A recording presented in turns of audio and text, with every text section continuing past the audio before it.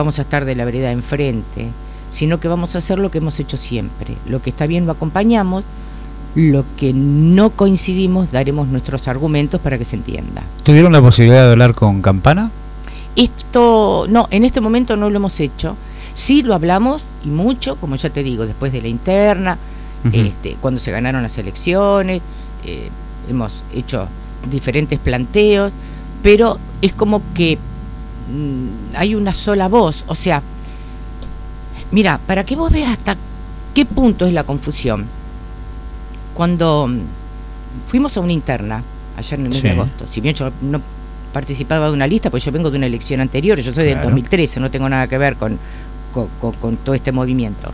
Sí lo acompañé Diego Telechea en su campaña.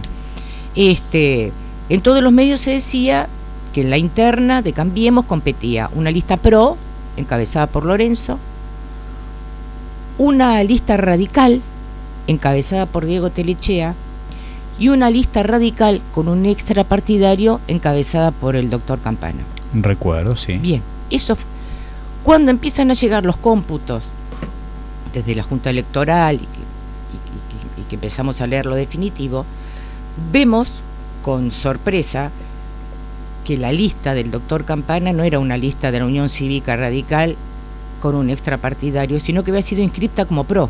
Como pro. Sí. Entonces, bueno, hay eso ya, marca una diferencia. O sea, la visión es, es, distinta, porque como yo te decía antes, si bien tenemos algunas coincidencias, la Unión Cívica Radical y el PRO no somos lo mismo, ¿no? Hay cosas esenciales que, que, a, nosotros nos diferencian. Entonces, todo este enredo, toda esta confusión que se hizo, no es beneficioso para nadie, y más para la gente que actúa en política, porque vos pensás que dentro de dos años va a haber una elección. ¿Cómo, cómo nos vamos a llamar? Yo me acuerdo que participé como UDESO, como Frente Progresista Cívico Social, ahora cambiemos. Eh, no, no sé qué, nombre va a tener en el 2017. Entonces vos tenés que mantenerte en un lugar para que la gente te ubique. ¿Y cuál es nuestro lugar? La Unión Cívica Radical. Entonces eso no lo tenemos que perder nunca. Ese norte no lo tenemos que perder nunca.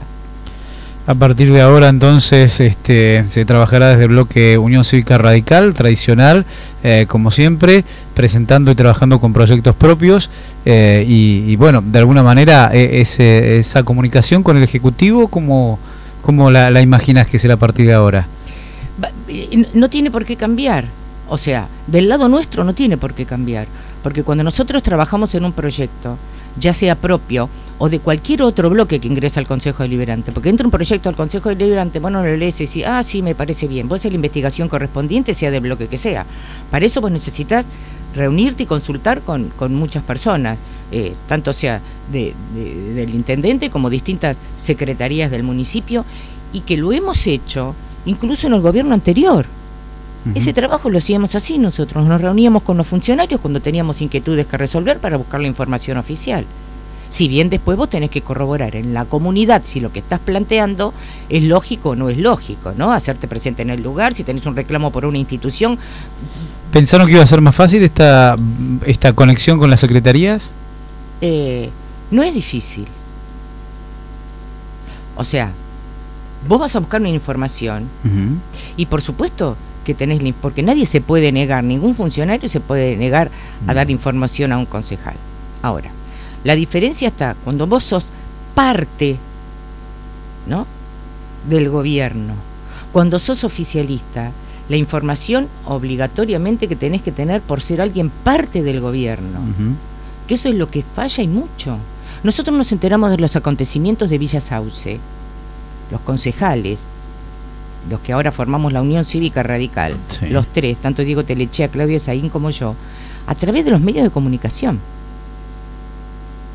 Siendo que el conflicto ya era conocido, por supuesto, por las autoridades municipales como por concejales del bloque. Entonces, esa es la diferencia que nosotros marcamos. Porque o te tienen en cuenta para todo, no solamente cuando hay que poner el pecho en el Consejo Deliberante o no te tiene en cuenta para nada.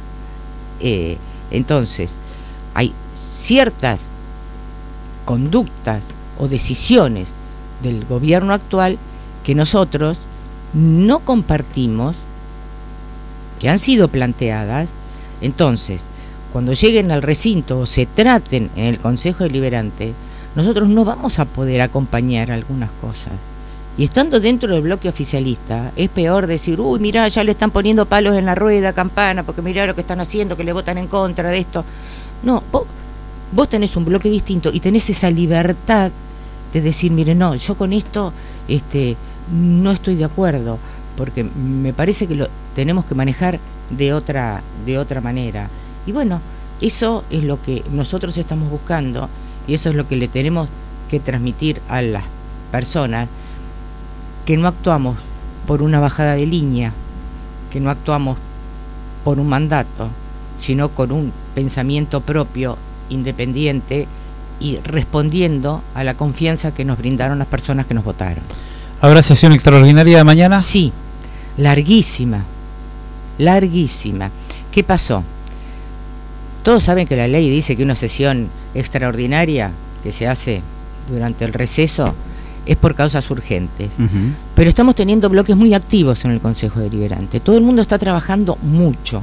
No hubo receso en el Consejo, solamente con respecto a las sesiones. Vamos contigo, Telechea, la, la semana pasada, eh, de enero, con este tema de la crisis hídrica y demás, eh, se trabajó Venimos desde diciembre, desde el 10 de diciembre, con un trabajo continuo, diario y de muchas horas, todos los días. Entonces, si nosotros seguimos acumulando la cantidad de proyectos que han entrado al Consejo Deliberante, cuando comiencen las sesiones ordinarias, ya vamos a venir con un atraso de cosas y que fueron perdiendo vigencia porque ya pasaron. Claro, sí, sí, sí. Entonces, aprovechamos estas extraordinarias para colocar el tema de importancia que necesita la urgencia de tratamiento, pero para también todo lo que podamos sumar y que ya quede expresado y tratado en el Consejo Deliberante para no complicar las sesiones ordinarias en el mes de abril. ¿Sorprende tanta presentación de proyectos? Sí, nunca se trabajó así. Es que también éramos menos bloques. Este, yo me acuerdo cuando entré al Consejo Deliberante, no sé, no éramos tantos, o por lo menos desde nuestro lado estábamos Gustavo Santillán y yo, que, que éramos dos solamente con un esfuerzo terrible para poder seguir el ritmo de, del Consejo Deliberante, el más numeroso era el Frente Renovador. Y bueno, y estaba David Labarta también, este, Horacio Lorenzo, Mariela Schiavi, bueno, que después esos mandatos eh, finalizaron.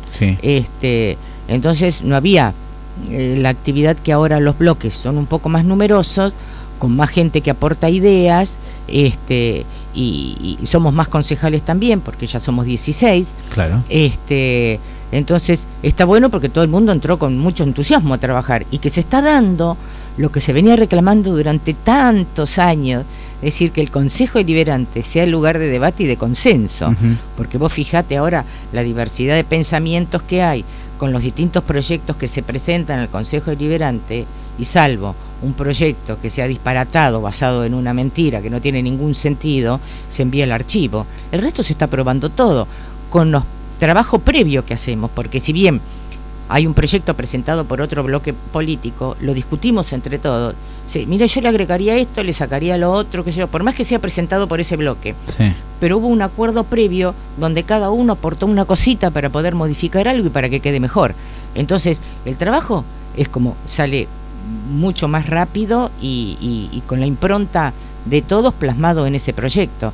Así que se está trabajando como la mayoría de los concejales nuevos piensa cuando llega al Consejo Deliberante, ¿no? Como debería ser. Como, como, tiene que ser. Mm. Y no durante tanto tiempo que fuimos maltratados, ninguneados, descalificados por una posición absolutamente dominante, impermeable, como que las ideas que venían de otros lados no servían para nada y el, y, el que estaba tenía la verdad absoluta en todo. Entonces, este cambió y eso nos lleva a este trabajo que estamos haciendo, pero conformes porque era lo que nosotros veníamos reclamando de tanto tiempo.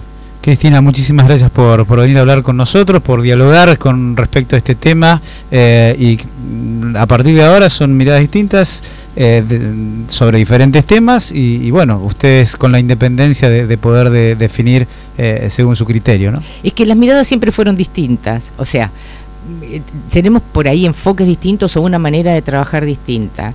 Nosotros, yo te digo la verdad, no hay competencia dentro eh, con ninguno de los concejales que trabajamos desde, desde la Unión Cívica Radical.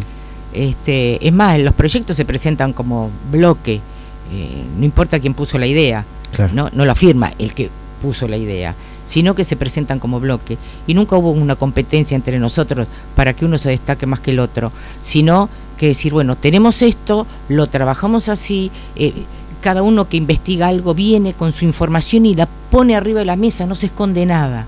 Entonces yo siempre digo que nosotros trabajamos con el corazón, de decir, miren, tenemos esto, acá está, lo planteamos, ¿cómo lo acomodamos? No, no, no nos guardamos nada bajo la manga.